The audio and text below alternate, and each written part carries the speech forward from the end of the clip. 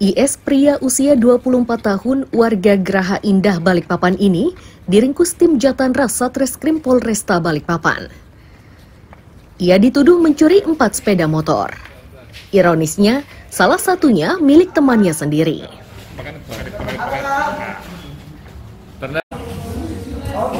Kanit Jatanras Polresta Balikpapan, Ibda Wempi Ardenta menyatakan, sepeda motor milik rekannya ini dicuri dengan modus mengajaknya ke ATM dengan dalih mengambil uang.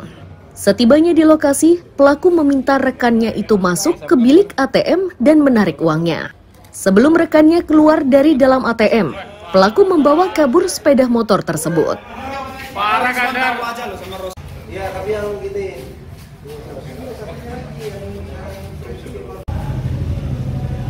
Dan mulai melunjai. Ini memiliki teman, kemudian temannya ini dibujuk untuk diberitahu untuk mengambil uang di sebuah anjungan tunai. Tapi ternyata ATM itu eh, pinnya palsu.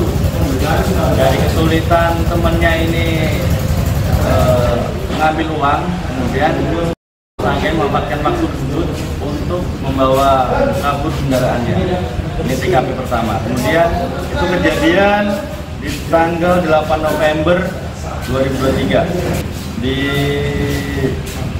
ATM di Kelurahan Batu Ampar. Kemudian dari laporan tersebut tim Jatanras menangkap pelaku, kemudian kita kembangkan. Dan di sini kita lihat ada empat motor jadi barang bukti. Ini satu motor e, dari hasil yang pertama, kemudian setelah kita kembangkan ternyata ada TKP lain.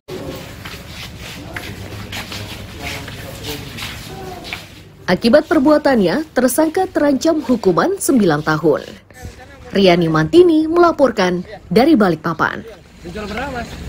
Dijual ke temannya atau dijual anu Facebook? Ke teman aja. Cara ngambilnya kemarin gimana, Mas?